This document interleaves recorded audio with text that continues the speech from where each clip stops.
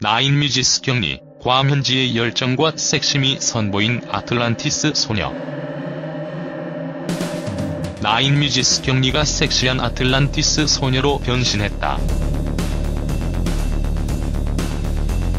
한류 매거진 K-웨이브 M은 최근 경리와 함께 괌 로케이션으로 진행한 화보를 공개했다. 이번 화보는 현지의 뜨겁고 열정적인 무드와 경리의 섹시하고 자유분방한 매력이 잘 어우러져 한 편의 완성도 높은 이미지가 연출됐다. 공개된 화보 속 경리는 rose 패턴의 슬리브리스 원피스에 패션 socks, 전면 snake 패턴의 가방을 mix match해 개성 넘치는 sporty 캐주얼 look을 연출했다. 거기에 카메라를 압도하는 도발적인 눈빛이 더해져 카리스마 있는 화보를 완성했다.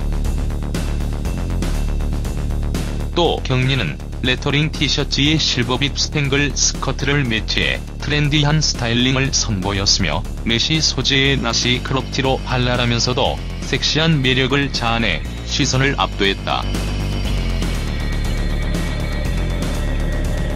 K-웨이브 M 관계자에 따르면 경리는 이날 괌의 뜨거운 볕 아래 새벽부터 늦은 저녁까지 이어진 타이트한 촬영 일정에도 특유의 씩씩함과 귀여움으로 현장 분위기를 이끌었다는 전언이다.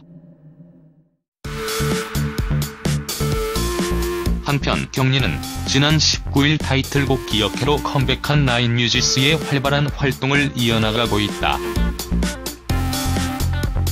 오는 7월에는 서울 용산구 블루스퀘어 삼성카드홀에서 두 번째 단독 콘서트 리마인을 개최할 예정이다.